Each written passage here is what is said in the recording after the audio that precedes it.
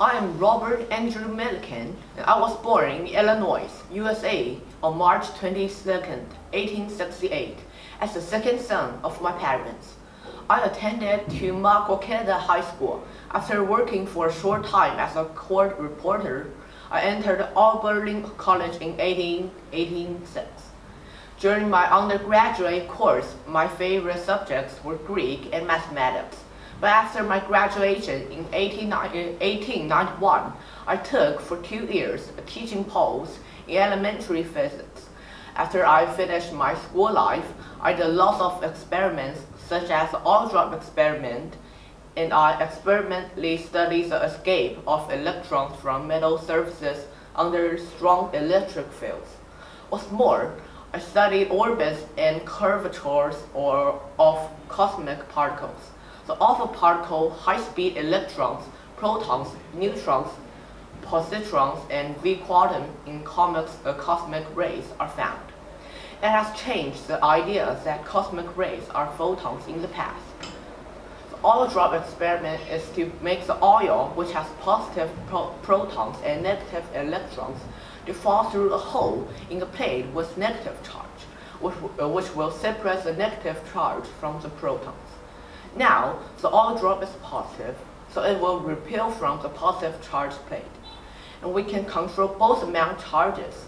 Because of this, we can watch how fast the atom moves, and we can calculate out how heavy an atom is, and how big the charge of an electron is by a microscope.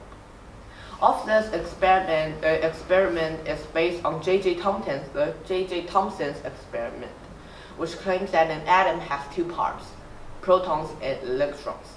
After I claimed that we can calculate the mass of an electron by its charge, I wrote lots of books, such as Science and Life, Evolution in Science and Religion, Science and the New Civilization. During World War I, I was vice chairman of the National Research Council, playing a major part in developing anti-submarine and meteorological devices. In 1921, I was appointed director of the Norman Bridge Laboratory of Physics at the California Institute of Technology, Pasadena. I was also made chairman of the executive council of that institute. In 1946, I retired from this post. I have been president of the American Physical Society, vice president of the American Association for the Advancement of Science, and was an American member of the Committee of Intellectual Cooperation of the League of Nations and the American representative at the International Congress of Physics. Known as the Solvay Congress at Brussels in, in 1921, I held honorary doctor's degree of some 25 universities and was a member of honorary member of many learned institutions in my country and abroad.